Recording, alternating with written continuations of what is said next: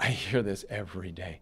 My doctor told me it would just go away. And I'm like, how? Like, explain to me, you know, I'm the patient's advocate. Excuse me, doctor, I'm this patient's advocate. Can you explain to me the mechanism by which you expect this to disappear? I don't know. There's no mechanism in place. Um, now, maybe a small floater initially with a PVD, if that were to move a little further away, maybe a month or so later, that might be a lot, lot less bothersome. So there can be in the early stages, in a few weeks or so, uh, a little bit shift and drift.